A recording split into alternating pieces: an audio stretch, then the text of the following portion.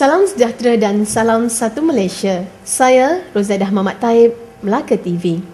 Pertubuhan Belia Pemikir Muda Melaka telah membuat laporan polis di Balai Polis Aikro Kelmarin sebagai manifestasi bantahan keras terhadap cubaan pihak tertentu menganjurkan pimpinan haram kempen bebaskan Anwar Ibrahim 901 di Ibu Negara pada 9 Januari ini.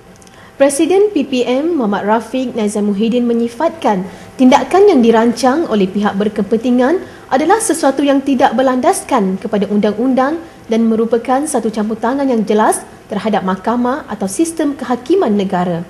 Jadi saya menggesa bahawa pihak polis dan juga pihak berkuasa supaya mengambil tindakan tegas ke atas uh, pihak-pihak yang menyertai himpunan bebaskan Anwar ini kerana ianya secara jelas uh, mempengaruhi keputusan mahkamah.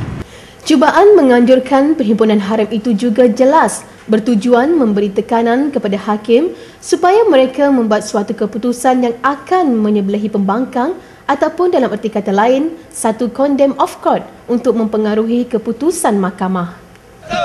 Kami membantah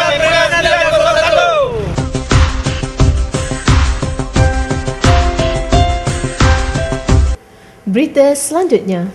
Pertandingan futsal padang dan bola jaring sempena ulang tahun kelima Majlis Pembandaran Jasin mendapat sambutan menggalakkan pelbagai pihak. Majlis penyampaian hadiah itu disempurnakan oleh Yang di-Pertua MPJ Murad Husin.